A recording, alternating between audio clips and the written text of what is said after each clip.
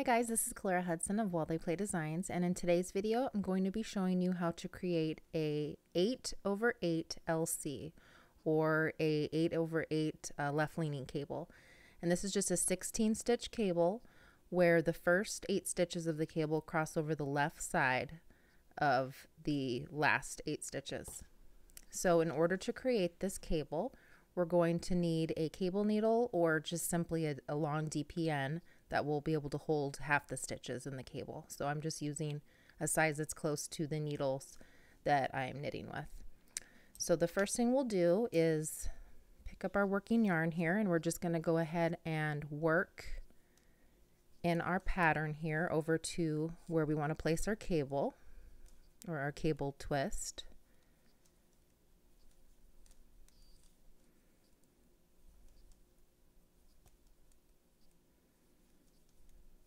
Okay, so we've reached where we're going to create that cable. These are our 16 stitches.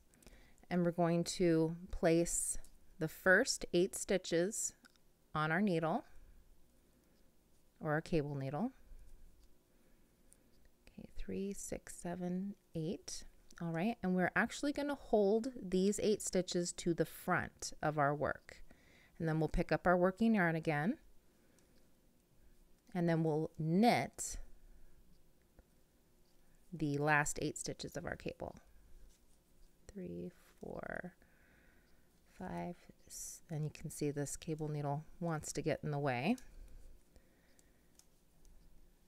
Seven, eight, and they do make cable needles that are curved a little bit so you can keep the the tip of your needle out of the way, but this works in a pinch too. Okay, so now we're going to pick up those eight stitches that we have on our needle, drop your working yarn to the back, and we're just going to pick up these eight stitches with our left hand needle.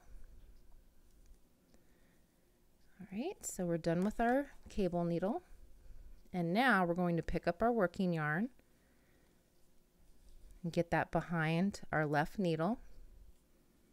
And this is going to be a little bit tight since we're working over 16 stitches. But you're just going to knit those eight stitches that you slipped. And we'll get a little tight here, but we can do it. There's our last one.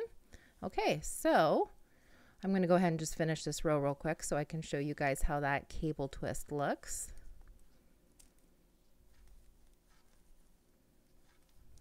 Okay, so we have our 8 over 8 LC or a 8 over 8 left leaning cable. So I hope this technique helps you guys out. Thanks so much for watching.